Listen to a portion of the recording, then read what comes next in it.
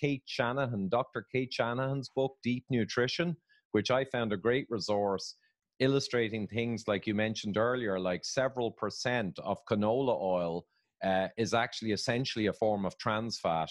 Five percent. Uh, or 5% exactly so she has a lot of detail she's deep dived in this but yeah i'd agree excessive poly uh, the traditional ancestral diet was around 1% uh, linoleic acid approximately and now our average diet with modern processed foods and all these vegetable oils is around 10% so we're 10 times.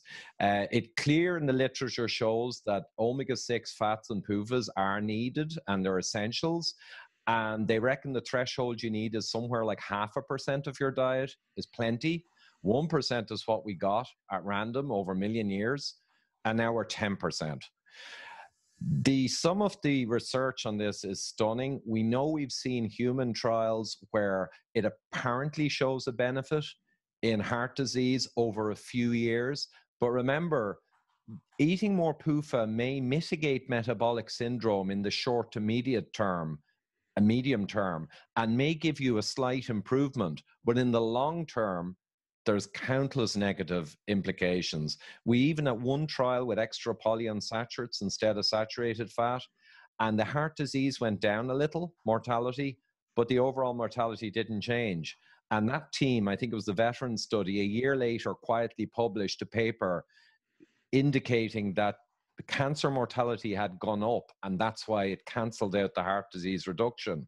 So there's a lot of connections and, and animal experiments relating to the oxidizing of, of these PUFAs in the 90s that clearly showed an impact on um, carcinogenesis and mammary carcinogenesis. We put a good few of those in the appendix, and everyone ignored them. But they showed that at 1% linoleic, which is the ancestral, there was no effect on carcinogenesis and on acceleration, you know, in tumor encrusted rats. And they showed that two or three or four percent then you got an increase in cancer's rate of growth. And after three or four percent linoleic in the diet, if you kept bringing it up to 10 or 12, it didn't get worse.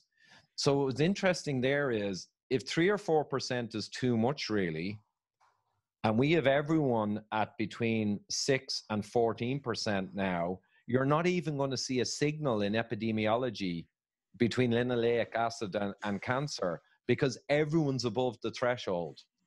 And you could go on about the other trials as well. Uh, there's one uh, that was done multiple times in rats. They infused the rats with alcohol 24 hours a day, right? Happy rats. and then they tested them with beef tallow in the diet, with uh, pork, I think it was, yeah, maybe three or 4% linoleic, and sunflower, 20%. And they showed without question that they could not cause liver damage. We all know how fundamental liver is. So this is a great indicator. They could not cause liver damage in the rat when it was on beef tallow.